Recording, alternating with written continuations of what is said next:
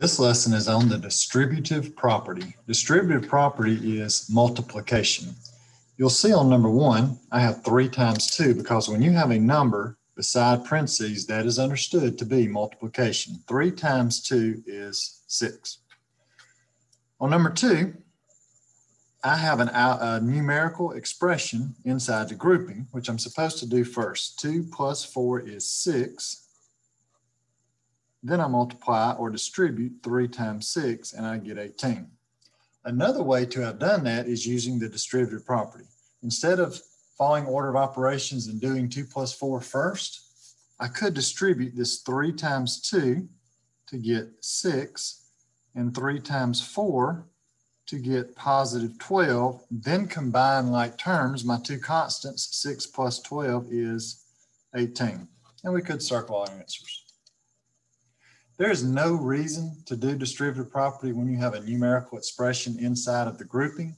However, when you have an algebraic expression inside of the grouping, there is a reason to do it because I can't do the grouping. Two plus n, those are not like terms. I cannot combine them.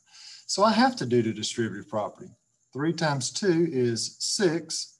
Three times n is 3n. And we should always write our answer where we end with the constant. 3n plus 6 is your answer in simplest form. There are two terms in your answer. On number 5, I could distribute this 3 to all the terms in parentheses. There are four terms. So 3 times y squared, then times the second term, the third term, the fourth term. However, what else you could do and what I would do is try to do the grouping first. Within this grouping, I actually have like terms. So I'm going to combine like terms first. 3y minus 1y is 2y. I'm going to bring down the rest of it. That was a positive 2y. And my distributor is a 3. Now that everything inside the grouping is done, I'm ready to distribute. 3 times y squared is 3y squared. And you don't have to draw these lines if you don't want. 3 times 2y is 6y, and 3 times negative 2 is negative 6, and there's our answer. 3y squared plus 6y minus 6. Your distributor could be on the right side like it is for number 6. You still distribute 2 times both of the terms in parentheses. 2 times 3y cubed is 6y cubed, and 2 times negative 1y is negative 2y.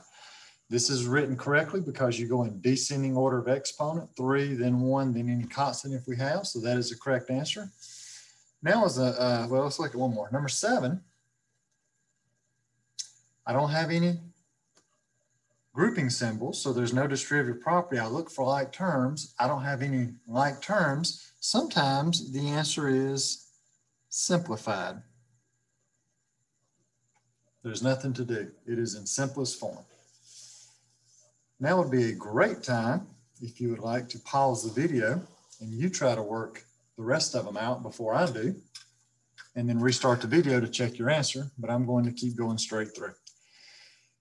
I don't have anything I can do inside the grouping. There are no like terms, so I'm ready to distribute. Negative 6 times r is negative 6r.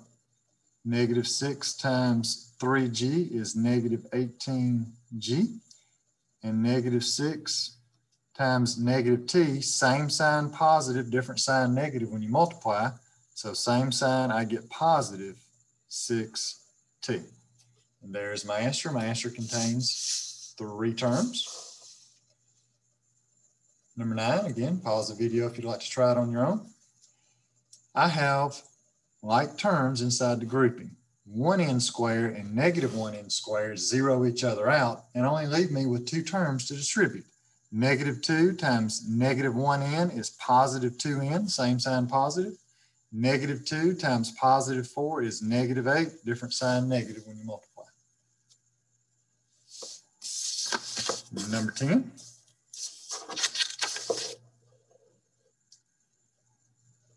Okay, I look, can I do us in the grouping first? No. The next thing I do is distributive property. Two times three n square is six n square. Two times negative one is negative two. And this was a positive six. Now I could bring these two terms down, or I could just understand that this is all one line and these two terms have replaced this parentheses.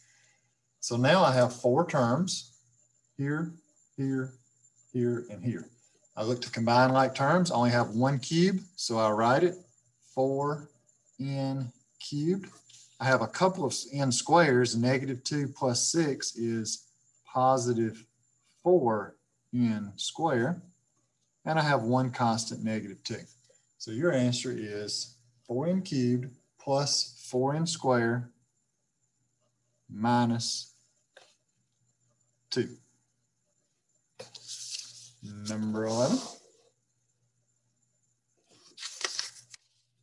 Uh, again, look, can I do what's inside the grouping? I cannot.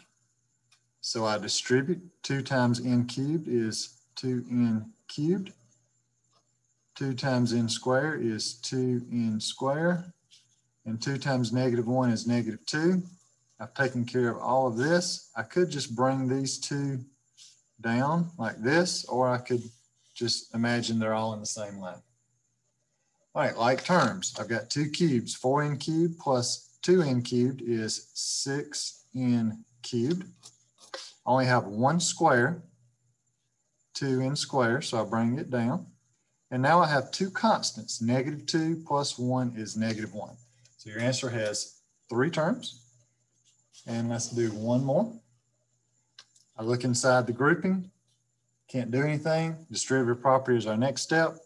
Three times four is 12x and three times three is nine. You can bring down the 6x minus two. I have like terms. I have 12x, positive 6x. When I combine those, that gives me 18x. And I have like terms, my two constants, positive 9 and negative 2. 9 minus 2 is 7. Your answer contains two terms, 18x plus 7. And that is our video on distributive property. Thank you.